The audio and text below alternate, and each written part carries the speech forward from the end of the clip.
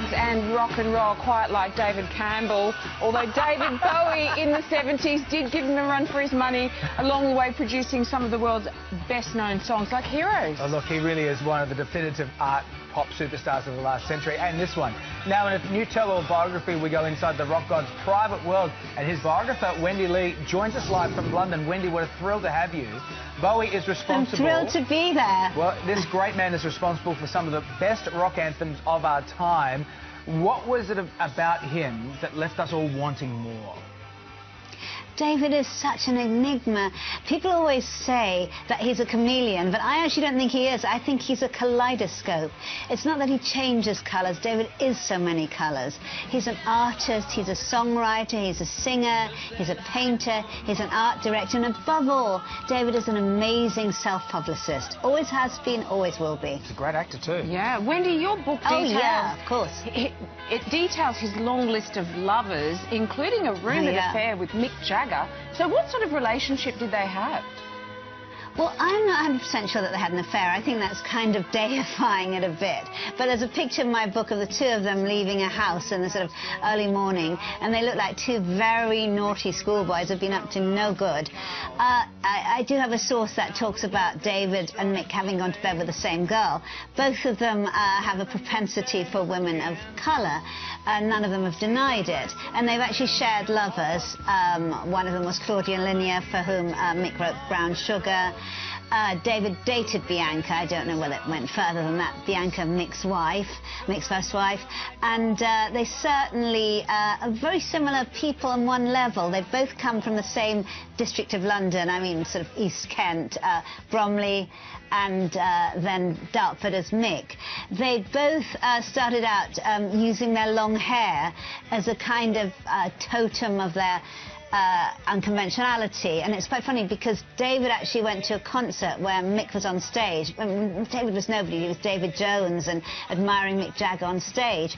And Mick got heckled because of his long hair. And he came back with some very cute answers, whereupon David formed a society for the protection of long hair. So David actually copied Mick a lot to the degree that Mick has said, be careful what shoes you wear around David, because if you're not careful, the next day he'll be wearing the same shoes as you did and better than you.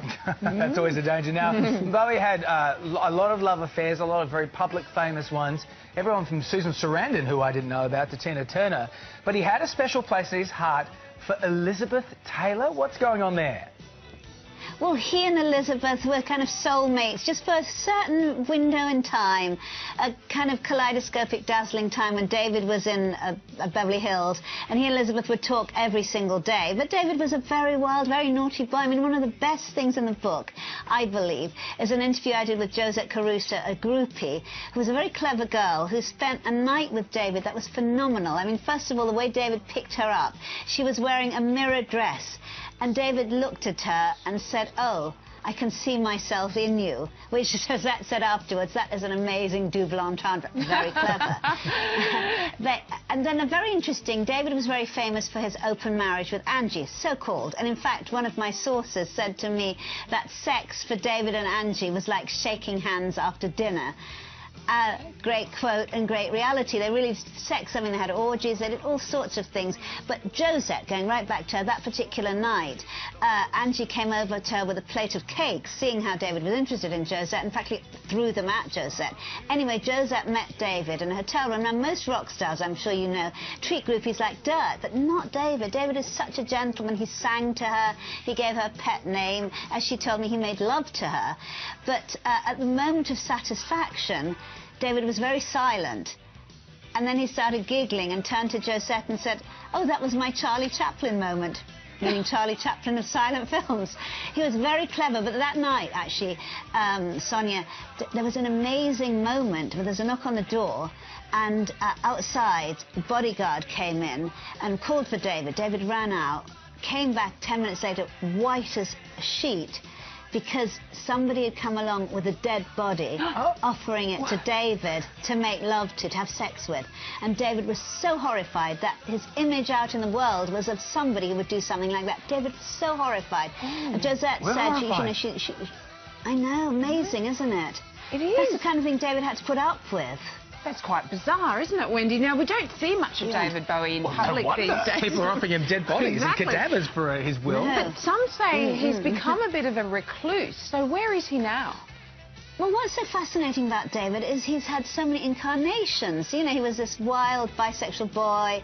Uh, he sort of did everything heterosexual. And then David fell in love. It's a fairy story, really. He fell in love with Iman, married her 22 years ago. And since then, I mean, he's been the model monogamous husband. They live in Manhattan, they live in Soho, and uh, they do go out sometimes, but, you know, under great secrecy. In fact, he was just in London a short while ago.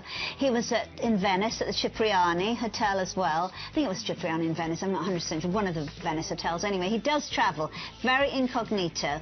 But he lives a very peaceful, very quiet life, but he's still not finished with us. He's not finished with his public. He does wonderful things like all of a sudden releasing a record without any fanfare, without any publicity. He doesn't need what other rock stars do. He's David Bowie.